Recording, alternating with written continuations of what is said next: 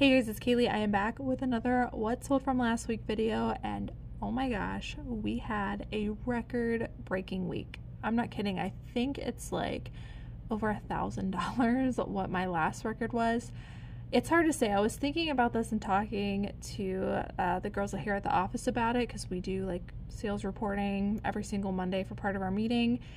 And I used to calculate what we also received in funds for shipping, but now I'm just calculating the item sales. Uh, but with everything involved, nonetheless, it is definitely a record breaking week.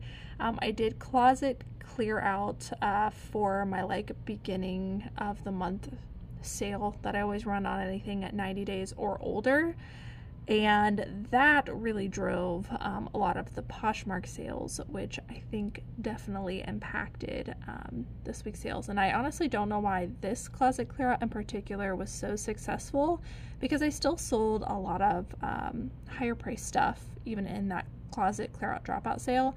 And then I also had really great sales on eBay too. So I think things are just picking up. Um, but it is worth noting that that closet clear out was definitely super duper successful. Um, I get a lot of questions about closet clear out, kind of how we do it, and how I drop prices every single month on my older items. Um, I have a video to that, and so I will link that down below in the description box. If you are interested in seeing that video, I talk about how I use Posher VA uh, to participate in closet clear out. It's just like a couple of clicks. It is super easy, super simple, totally worth the money because not only uh, do you pay $25 to use it you know, for closet clear out, but also it can share, it can send out offers after like so many minutes of watching, and that's where a lot of my sales come from on Poshmark. For the most part, it's pretty automated. I just use List Perfectly to cross post things over. Um, it doesn't cost anything to list on Poshmark uh, for me. So, yeah, between List Perfectly um, and Posher VA, for the most part, everything's pretty much automated. It's so easy to take my items from eBay over to Poshmark, just a few clicks, and it takes me 30 seconds or less uh, per item. So it's just like an extra bonus, and this week it, it definitely paid off. But that's enough talking. Let's dive in to this What Sold video. Okay, so like I said, best week ever. Everything that you see here on this report happened between September 10th through the 16th. That is a Sunday through Saturday, and that is how myself and these platforms calculate their weeks, and that's just the easiest way for me to do it because I can just pull the information right from those reports and plug it into my own. So total items sold was 306 items good split between eBay and Poshmark. Like I said, I did run a closet clear out, so I sold a ton of stuff on Poshmark, actually more than on eBay. So on eBay, I sold 121 items. On Poshmark, I sold 185. And then as far as sales go, um, gross sales on eBay, gross item sales, were $3,848 on eBay. And then on Poshmark, they were actually just over 4500 so poshmark definitely beat ebay as far as sales go um, but i did sell a lot of lower price items to get there through closet clear out that just continues to be a very successful strategy for me um, and i do it about once a month on the closet clear out days usually towards the beginning of the month so very excited about that. My gross item sales, which does not include what I receive for shipping through eBay, was $8,437.23. That is like blowing the goal completely out of the water. So I'm super happy with that. And that made my average item sale price $27.57. I still can't seem to budge on being around $28. I'm hoping to get between uh, 35 and 40 again used to be where I was at before I hired employees um, and hoping to get back to that by the end of the year. And I, I definitely think that we will. Um, obviously, anytime I do closet clear out, it decreases the average sale price for that week, but I still think $28 is pretty good given that I did a closet clear out. So let's jump into the sales. I'm going to start with eBay and finish with Poshmark, and I'll try to go pretty fast here. So first one is the brand Outlier. This is a newer brand to me and it is one of my favorites now. They're kind of, um, from what I can tell, an outdoorsy kind of brand. They make very like capsule wardrobe basics, but they're very high quality.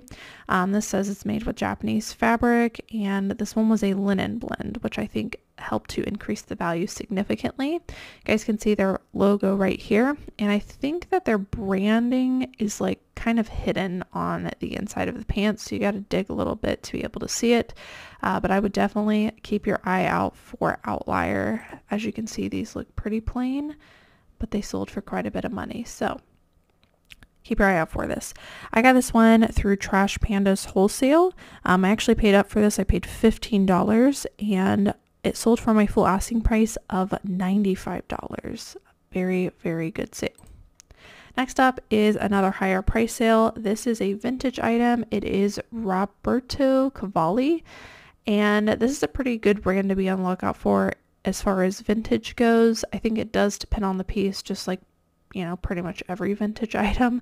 Um, but this beachwear line combined with this animal print dress seemed to be really, really good and I was surprised at how quickly this sold as well.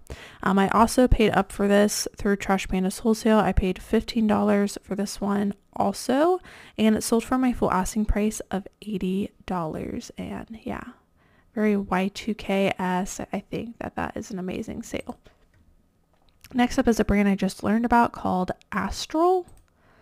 And I don't know much about this brand other than they appear to be kind of like a a barefoot kind of brand, if you know what I mean. Um, they just have that look to them. And very simple, kind of lightweight, but I did do comps and I was very pleasantly surprised at the comps on this brand. So this one is a pair of men's. The brand was, or sorry, the style was called Loyak M's. I don't know much about this brand yet, um, but they were a size 10, pretty decent size in men's, um, and I only paid six bucks for them, listed them for $65. They sold on an offer to watchers for around $55, um, and this one had a really great sell-through rate. Next up is something I've talked about for the past few videos. They are Toad & Co. wide leg pants. Still continuing to perform pretty well on these. These are a size small um, and they did have a couple spots. I listed them for $60 and they ended up selling on an offer to watcher pretty quickly for $51 and keyword here being the chaka uh, wide leg pants. This is the style name for these and i believe yes it says it on the inside tag. So keep your eye out for the chaka wide leg pants. They sell very very quickly for me um, and for really good money Next up is a pair of Spanx. This is a brand I really love picking up, but I have noticed a decline depending on the style on sell-through rate and also how much they'll sell for. This one appeared to be a pretty um, more substantial style. They were very thick uh, joggers, pair of jogger pants.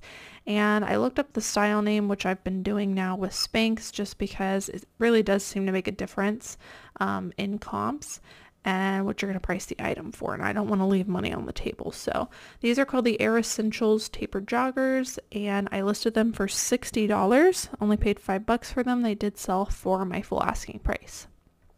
Next up is a brand I love picking up in fall and winter. It performs well for me every year. It is Geiger. They're made in Austria and they um, are pretty well known for their boiled wool items. So this is a 100% wool piece. I don't know if you can tell from the fabric. I guess I come here. This is boiled wool. and it's definitely a good keyword to use. So you can see we used it in the title here. Um, this brand can bring really, really great money depending on what you have. I've, um, I think I've gotten probably the most I've ever gotten for it was like 80 to $90. Um, but you know, all in all, really good ASP. On this brand, it tends to only sell during the winter, but uh, one to be on the lookout for. So paid five bucks for this. We listed it for 60 and it did sell for our full asking price. Next up is a Western brand that I just learned about. It is called True Rest, True West Rock Mount Rock wear. Gosh, that is a tongue twister.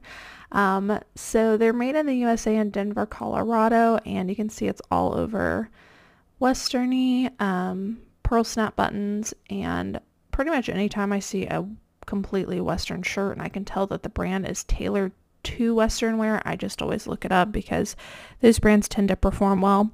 Paid $2 for this guy. We listed it for 50 and it sold pretty quickly for our full asking price. Next up is a designer brand that performs really well, although I hardly ever find it. It is Veronica Beard. I paid $7.50 for this. Actually, I think I might have gotten this one. This might have come from a death pile buyout or somebody that has been sourcing for us. I'm pretty sure it has. It's hard to keep track of. We have uh, so many buying options going on, um, but I'm pretty sure this this is where that came from. So I paid 7.50 for it. It was called the Venice Paisley tie waist dress. And we listed it for $60. It sold for our full asking price. This is a brand that regardless of sell-through rate, I would probably get because I'm willing to wait for the right buyer. It always sells for a good price and they make some really high quality pieces. This is a wintry item and something I'll be on the lookout for and just a category I've been sharing a lot of, um, which are blazers in both men's and women's. Here is another blazer sale. This is Brooks Brothers. Um, I love Brooks Brothers men's blazers for sure. I don't normally get the women's. I only got this one because it was a super thick wool. It had some kind of ornate buttons, so there was a lot of factor stacking involved, plus it was a larger size. Paid about $5 for this. It sold for my full asking price of $45. So Brooks Brothers is definitely a brand um, to be on the lookout for. You just want to make sure to do your factor stacking. And this one was a very surprising sale. Um, I came across these at a thrift store. I picked them up for $7. They're just ASOS, which is a brand I like hardly ever get. Um, yeah, just not a brand I normally get. And these had a chunky uh, platform heel and they just had a very like Y2K vibes to them. And I went back and forth. I actually like picked them up three times and put them back. And then I was like, you know what, I'm going to check the comps on these. And so I think I searched like ASOS chunky boots or something like that. And I was really surprised at the sell-through rate and the comps had a great sell-through rate. Comps look good. Picked them up, listed them for about 40 because they did have a little bit of wear to them. They sold very quickly for my full asking price. Um, and they were also a size 12, which is very high for uh, women's sizing.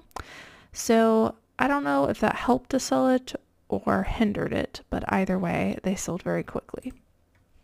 Next up is a Madewell piece. I do like still showing brands like Madewell, Free People Anthropologie because a lot of people have stopped picking up uh, most things in those brands just because the market is really flooded with, you know, a couple years ago that was all three of those were bolos and so everybody picked them up, everybody listed them. Now the market's kind of flooded. So I'm a lot more picky, but there are still some things that sell really well within all three of those brands. This being one of them, it is a maxi length dress, so Madewell. Uh, I looked up the style name. It was called the Lakeshore Button Back Maxi Dress. And hard to tell because it's all black, but here's the back. Uh, lots of good factor stacking. It was also a size large. Paid 5 for it, listed it for 45 It sold for our full asking price, and pretty much all midi to maxi length dresses and all three of those brands perform really well for me. This is a menswear, or yeah, men's jeanswear brand that does really well. It's Mugsy, has pretty good sell-through rate. These are called the Softies. And I can't get like a ton for them, but they are pretty solid between 30 and $40 depending on the uh, style and the size. I paid $8.99 for these, listed them for 40 They sold for our full asking price. This is a skirt from Lauren Ralph Lauren. It's a silk blend, longer length skirt, and we found it new with tags, so it definitely helped to increase the value. I don't pick up a lot of skirts, but this is one brand I've noticed, as long as it's longer length, can perform pretty well um, in the skirts section. Paid six for it. We listed it for 50. It sold on an offer to Watcher for $42. This is a Lagenlook brand I really like, and specifically their linen stuff is like what they're known for. I don't know how well this brand will perform as we move into fall and winter, but for me it's still selling right now. It is Bryn Walker. It's a brand made in the USA and their sizing is always underneath of their brand label. In case you have something and you think you can't determine the size, it's their size is a little bit hidden. So this was a 100% women size small, very lagenlooky kind of cowl asymmetric tunic top. We paid 10 for this and listed it for 40 and it sold for our full asking price. This one actually went on an international sale. Next up is a kids item. I've talked about this a lot, um, but I wanted to reintroduce this idea to you that there are some items in the kids section that are worth getting in fall and winter. And basically what I do is I just glance the kids section. Like I don't go through everything. I just glance over and see if there are any like thick looking puffer jackets. If there are, I check the brand. The brands that are typically good in adult sizes are going to be the brands that are also good in kids. So North Face is definitely one of those brands. Patagonia, you find something like that. Um, even some other ones like REI might be good, uh, depending, but definitely North Face. This is a boys reversible jacket, uh, puffer coat. The reversible ones for me and kids do really well in this brand. And usually the kid stuff is not priced up, which is awesome. So I only paid $3.99 for this, listed it for 40 It sold for my full asking price. This is another Lauren Ralph Lauren piece and it's also another blazer. This was a women's size 12 linen blazer. Linen definitely adds a lot of value in the category of blazers I've learned. And so lots of stuff going for this one. You can tell it's kind of an older style because it's got the three buttons, um, but enough factor stacking that I think it's pretty good. This one had a few spots so we listed it for 40. It did sell for our full asking price. Right, I had a lot of talk in the thrift haul where I showed this brand. It is Eileen West. This stuff retails for quite a bit and can resell for a lot. Um, based on the comps for similar items that I saw, I listed mine for $45. It is a two-piece set. It's got like a lace overlay and then um, a little like cami slip dress underneath. Um, $45 I thought was really good. I was told by some people I could have priced a lot higher, but that's where I felt comfortable at based on what I saw selling. Um, like I said, in similar items. Paid five bucks for this. It sold for my full asking price of 45, but definitely a brand I would look for in the sleepwear section. This is a brand I will be on the lookout for for fall and winter. It is Pendleton. This one is an older label, but it was a size 2X. It was a wool blend and it had some print to it. Women's wool vest. And so lots of factor stacking. The thing about this brand is you can't just pick things up anymore just because they're wool and that's what the brand's known for. You do have to do, in my opinion, some factor stacking. And usually I'm looking for, you know, something a little extra, like a print, hopefully Aztec or Westerny print, um, or like a cable knit or something like that. Um, otherwise, I find that plain stuff tends to sit um, unless, like I said, I do a lot of factor stacking. So this one had some good stuff going for it. Uh, we picked this up for five bucks and I listed it towards the beginning of summer, so I've since dropped the price. It ended up selling for around $36. I think if I would pick this up now and list it, I probably could get a lot more for it, but I'll be on the hunt for pieces like this. Here's a vintage Levi's item. This is Levi's Strauss & Co. two-horse brand overalls, um, size small. I guess they're short alls, not overalls. Even had the little patch on the back. Um, I looked these up and was kind of cautious about getting them, about getting anything shorts because we are moving out of warmer weather, but I saw pretty good comps, so I paid five bucks for them, listed them for 35. They sold on an offer to Watcher for 30 bucks. All right, this is a newer brand to me and one I'm going to be on the lookout uh, for from now on. It is Marni, M-A-R-N-I. These are a pair of women's uh, trousers, kind of wide leg and belted. Pretty good comps with this. Um, I paid 10. I listed it for 35. It did sell for full asking price. There are some other pieces in this brand that perform a lot better uh, than this one, but definitely a designer brand I'd be on the hunt for. All right, I picked up some good American jeans in a video and a lot of people told me this brand is sitting now. I'm still having pretty good luck with it. I think it does depend on the, the size, the style, and then what you price it for. Um, so I, you know, I've been selling quite a bit of these, but I think I am going to start being a little bit more cautious uh, with specifically the styles that I pick up. These were the Good Legs style. They were distressed. They were size 14, which I think helped to sell them. I paid $7.50 for them. They sold for my full asking price of $35.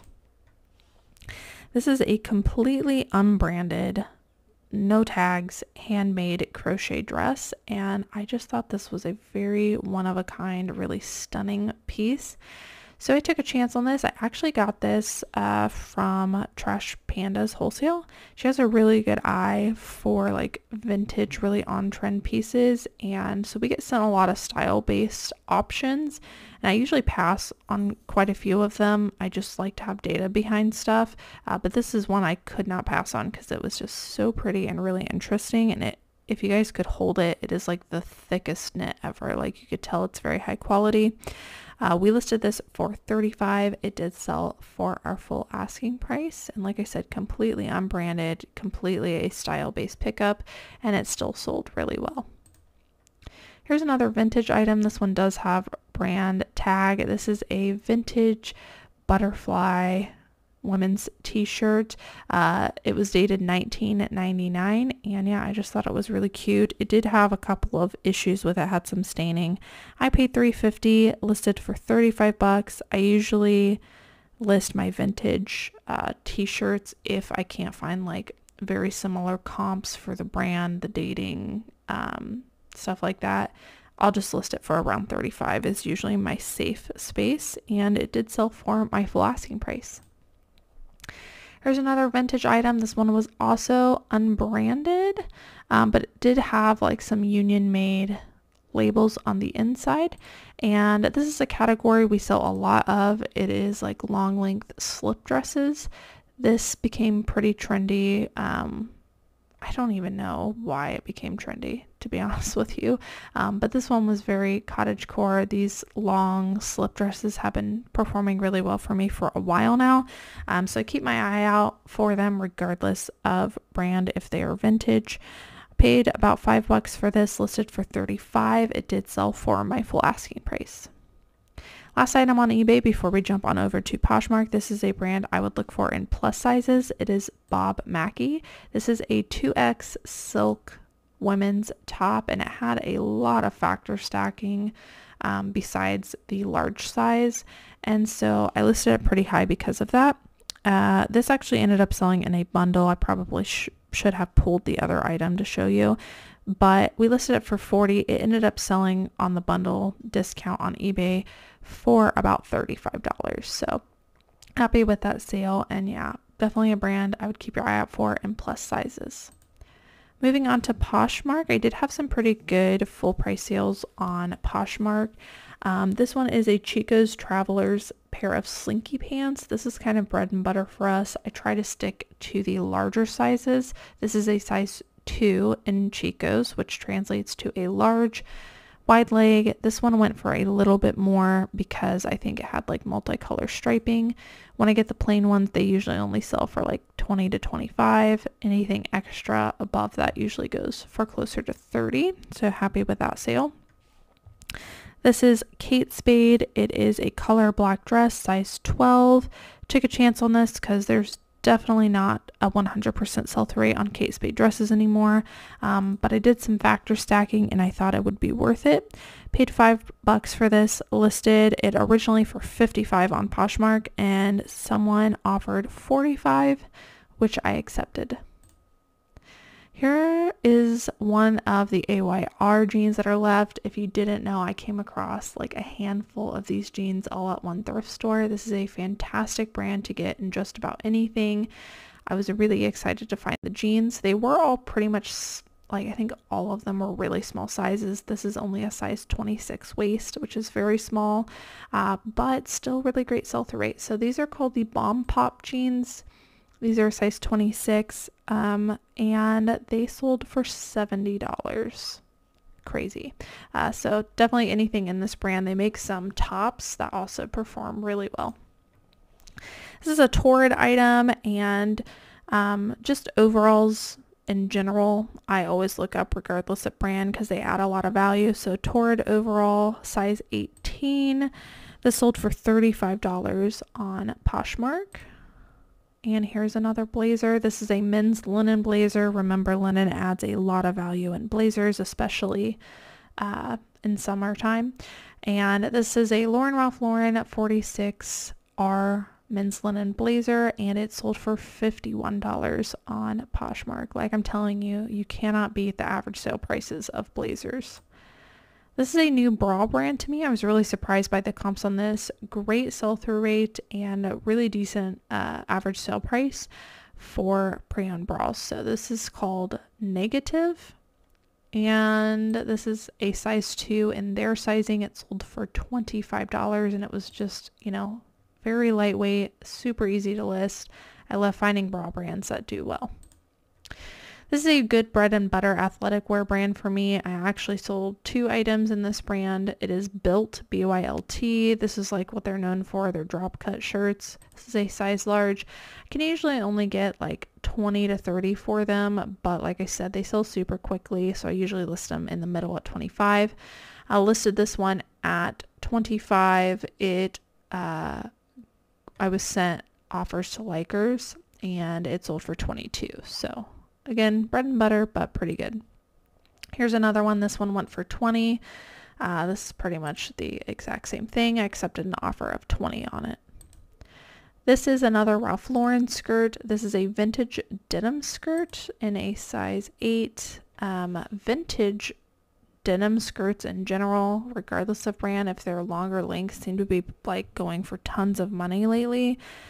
I don't know why, but I've been able to sell quite a few of them, and Ralph Lauren's definitely a good brand to look for within that category. Uh, we originally listed this on Poshmark for $85, and I accepted an offer of $75. Here's another pair of Good American. this one's also a larger size, 14 to 18, so I would say that uh, I'll be looking for probably strictly larger sizes in this brand from now on unless I find a really specific style that is performing well. These ones were called the Always Fits Good Legs. Um, so apparently they make jeans that expand and stretch between sizes, which is why you're seeing a size range, and that is normal for this brand. Paid five for these. We listed for 50. They sold for 40 on Posh. Here's another pair of those Chico's Slinky pants. These are also a size 2 and they are the Traveler's line. And these went for $22. Like I said, between 20 and 30 is usually what I can get for these and I am happy with that. They are really easy to list at this point. I think I could list this with my eyes closed. We've listed so many of them. Next up is a Lululemon piece. This is a men's. Um, I'm also very cautious with this brand, but pretty much anything men's in this brand I still pick up. Um, they perform really well. This is a men's extra small polo. It went for $35 on Posh. This is a brand that is newer to me. Um, I just, I don't know. I'm been like made aware of it recently and have been testing out some items and it's actually been performing pretty decently. I think it really depends on the piece. Um, they do have style names, so I've been uh, diligent in looking those up with the size. I have found that they perform better on Poshmark versus eBay. So I'm doing a lot of my comps for this brand on Poshmark now. It is Draper James. This is a size extra small. It's a really gorgeous dress. It is called the Kelly baby doll dress. It's very like cottagey, peasanty, boho. Um, paid five bucks for this one. It went for $34 on Posh.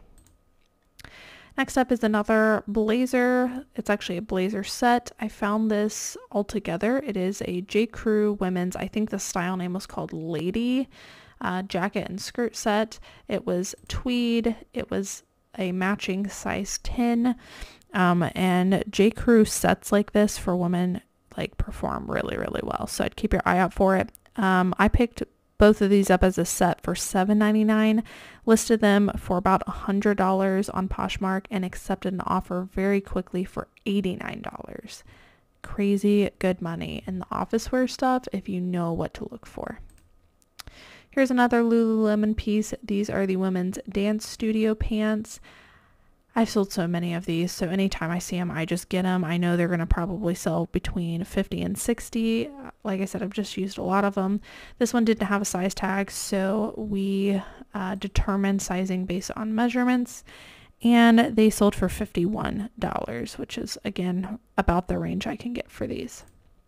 And last item is kind of a gothy brand. It is Killstar, which I would be on the lookout for, especially with Halloween coming up and um, yeah, just Halloween coming up. A lot of these like niche goth brands perform really, really well. So Killstar would be one of them. This is a lacy flare sleeve mini dress.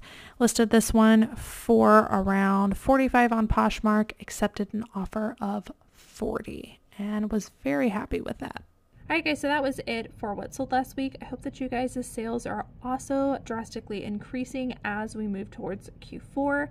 And if you're new, Q4 is the last quarter of the year typically when sales increase for resellers because people are looking for gifts um, and they're just in the shopping mood because it's shopping season with the holidays. I do these videos every single week of what is selling for me in hopes that they might help you guys know what to look for while you are at your local thrift stores to flip online for profit. So if you're interested in seeing these sales every single week, you can click the subscribe button down below as well as the notification bell and you'll be notified every single time that these videos go live. Thank you guys so much for watching and I will see you in the next one. Bye.